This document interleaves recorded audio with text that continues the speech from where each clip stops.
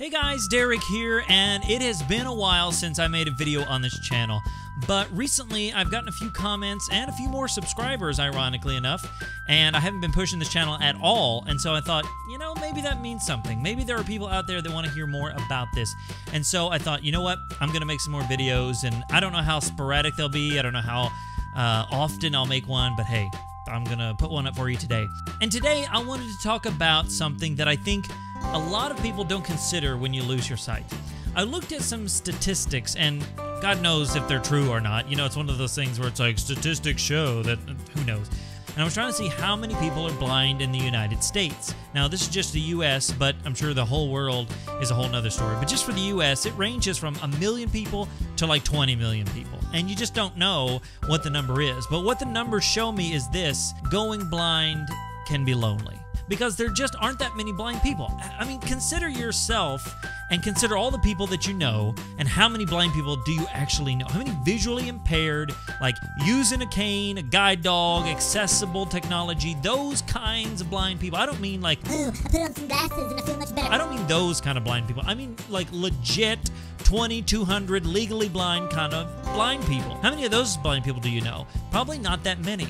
When I lost my sight back in 2001, I knew like one or two blind people. That was it. And I didn't even know them personally. They were older and my parents knew them and that sort of thing. I didn't ha- I didn't go to like a school for the blind or anything like that. So when I lost my sight, it was like, "Whoa, this is crazy." And it was very very lonely. And I'm sure you if you have lost your sight or know somebody that's lost their sight, it can be really lonely because it can be one of those things where you feel like you're the only one going through this. And here's the thing you're not the only one going through it. I know it seems like that, and I know it seems scary, and trust me, I felt the same way. Like when the doctor sat across from me and was like, I'm sorry, you're legally blind.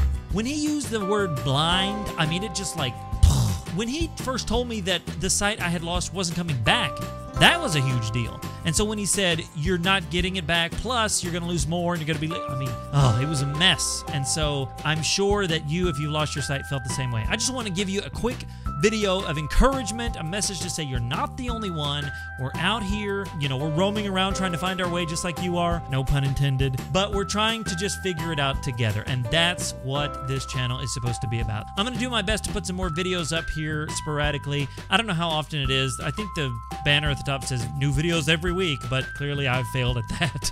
so I'll just try to put some encouragement up for you guys, some uh, things that I've learned, things that I do. I've been blind for, let's see, 15 years now. Gosh, has it been that long?